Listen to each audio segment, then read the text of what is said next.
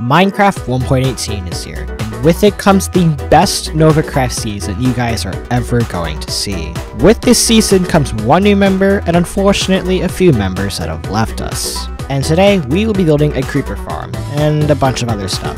Not sure how it's gonna go.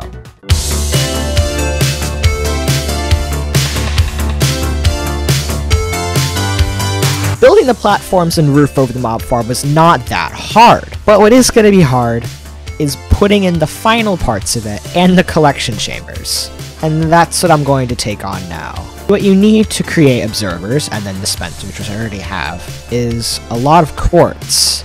And that's where Presto 2008 comes in, but she's online and she's not listening to me. Uh, Quartz? That, that, pour in my ender chest. One second. I do not. That's this is a this is plenty of enough quartz.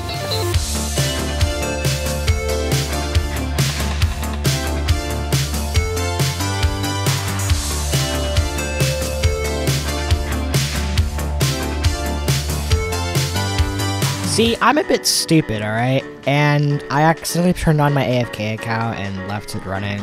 And in just one night, all these chests just filled up with stuff. And that's really useful for our next project and second to last of today, which is going to be building ourselves a raid farm. Now, I've been actually busy, so Presley 2008 actually grinded a bunch of materials, but it's a design by Ianxofour, link to him down in the description, of course. And we're gonna build it here.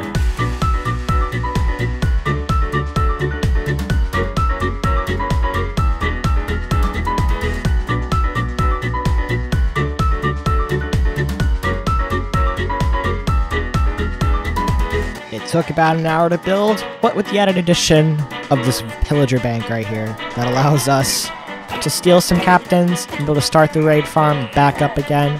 Best. It's a pretty much a really good idea.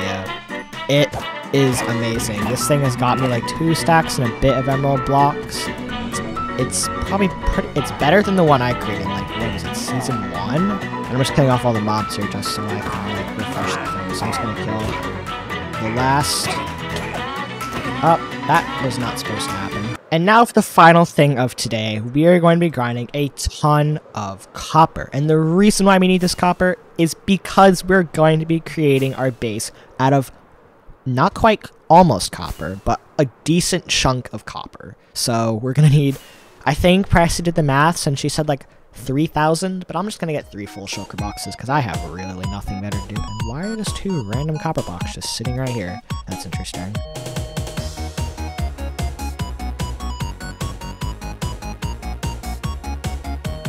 Ooh, a jungle temple. Let's see what loot it has. Actually, that's pretty decent. Oh, that's actually really good loot. It's probably one of the better loots that I've seen come from these things.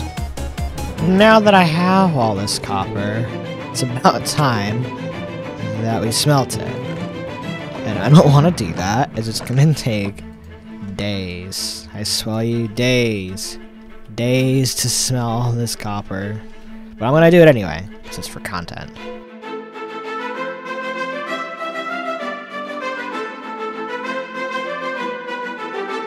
My friends, I think that is going to be it for today. Now, what I'm going to be using all this copper for, I'm not going to tell you. I have some big plans prepared, though. I will tell you that. So stay tuned for the next one.